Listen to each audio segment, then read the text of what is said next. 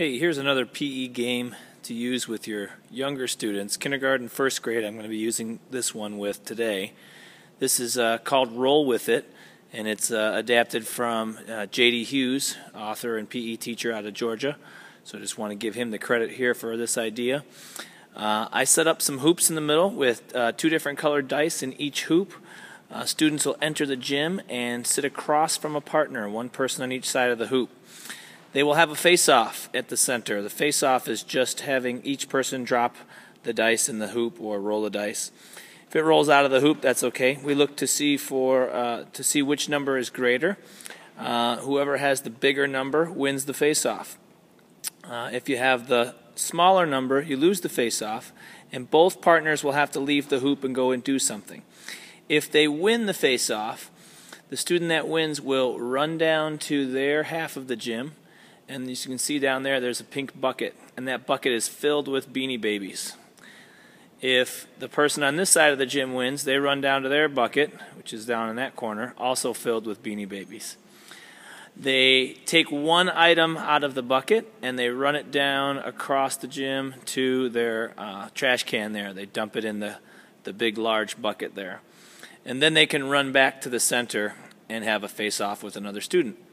All right, same thing here is if this team wins, they grab their item out of the bucket and they run it across the gym to their large bucket and then they come back to the center for another face-off.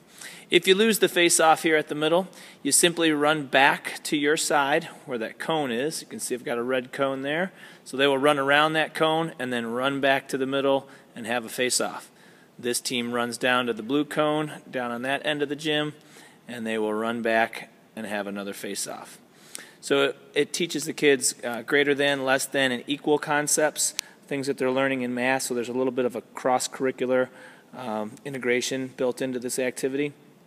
Um, so you can do it different ways. If the kids roll uh, the same number and they're equal, you can have them both go and take a uh, Beanie Baby out and put it in the bucket, or you know you can have them roll till the tie is broken.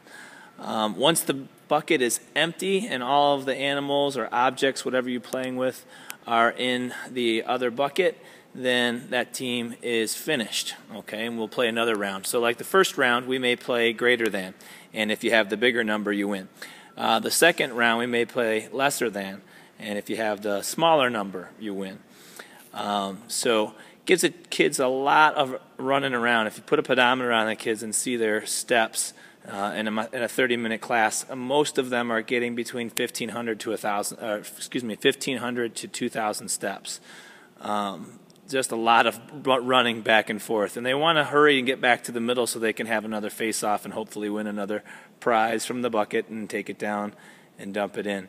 Want to try and do that as quick as they can. And even when they lose, they have to hustle back to the cone so that they can get back in the game and have another face off. So that one's called Roll With It or Greater Than, Less Than Equal. Uh, something to play with your kindergarten, first grade, maybe even second graders as well.